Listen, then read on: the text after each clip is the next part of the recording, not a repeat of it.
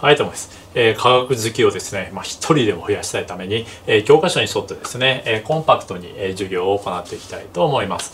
えー、まあ代表的なですね、えっ、ー、と5社の、えーと、教科書をまあいろいろ研究してですね、えっ、ー、と科学基礎と、えー、語呂合わせというシリーズで、えー、今回ですね物質の成分と構成原あるいは物質の構成の際の状態変化と蒸発と沸騰について、えー、授業を行っていきたいと思います。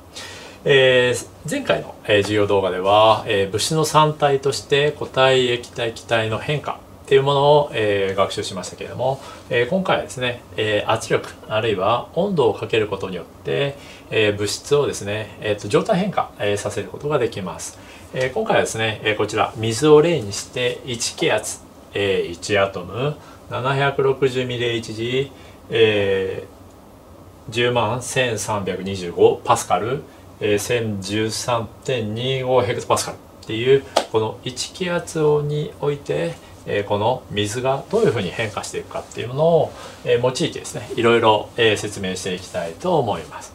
えー、まずですね、えーと、左から右に、えーと、変化する方向だと思って、えー、説明をしていきます。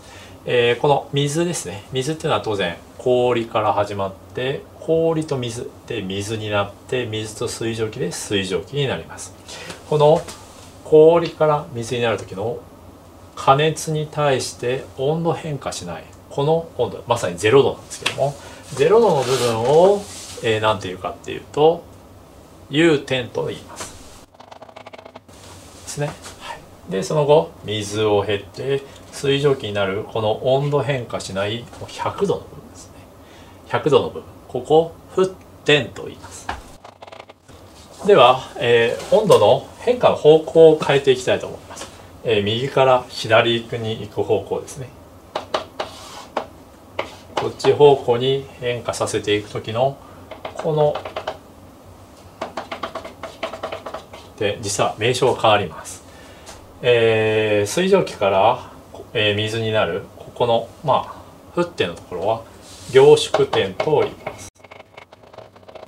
まあ、物質の3体でやったように、えー、気体のものを水にする時凝集っていうので凝縮点で OK ですね。で次について水をが氷になるこの温度変化ですね。0度の部分。右から左の場合は凝固点と言います。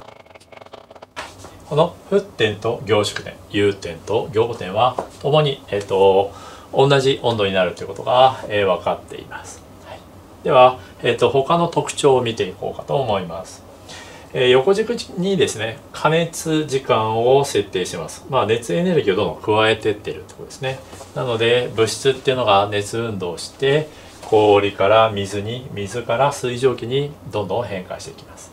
えー、この U 点の部分っていうのは熱エネルギーを加えているのに温度が変化しない点です。ここは何が起きてるかっていうと氷から水への状態変化が起きてます。状態変化が起きてですね。だから氷っていう層が、えー、熱エネルギーをもらって温度変化する前に水へと変化するような状態変化ですね、えー、ここにエネルギーが使われてます。これをですね実はエントロピー変化とも言います、ね、まあ科学でやる内容なんですけどもまあえっ、ー、とよくよくですねえっ、と知っておいていい情報ですので、えこれしていきましょう。えー、当然ですね、えーと、水が水蒸気になるここのエリアっていうのも状態変化。主に、えー、状態変化ですしエントロピー変化と言います。で、えーと、水氷と水と水蒸気。1g あたりどのぐらいだったか覚えてますかね体積。1g あたり氷大体1立方センチぐらいです。水も大体1立方センチぐらいですね。水蒸気。1630ですね。ですかね。っていうぐらいすごく大きくなるんですね。すごく大きくなるというのはどういうことかっていうとこの状態変化するのに時間がかかるってことを意味してます。つまりここは短いんですけどここは長くなるっていうのが、えー、2つ目の特徴になります。まあ温度が変わらないっていうのと短い長いっていうことがあります。あともう一つあります。まあこれはですねもう完全に大学の科学の内容になってくるんですけどもこの氷と水と水蒸気の温度変化ですね。これはどんどん傾きが緩やかになってきます、一般的にはですね、えーと、水の場合は少し、えーと、変わったりするんですけどこの傾きがどんどん緩やかになっていくよっていうのがあります。では、えー、この残りのですね蒸発と沸騰の違いっていうものを、えー、説明していきたいと思います。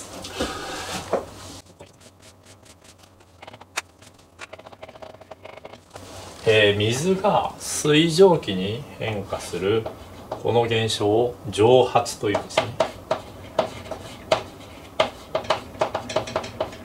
では沸騰と蒸発って何が違うのかっていうところを説明していきたいと思います、えー、コップの中の水を想像してもらえばいいんですけども例えばお風呂。お風呂ありますね。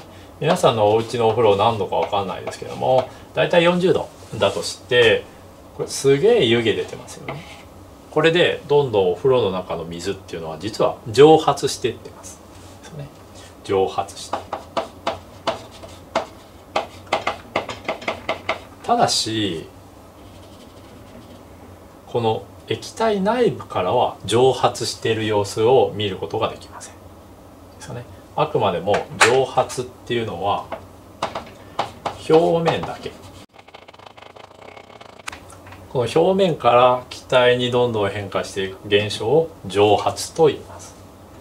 じゃあ沸騰はどういう現象かっていうと沸騰は当然表面からも湯気が出るんだけどボコボコするじゃないですか。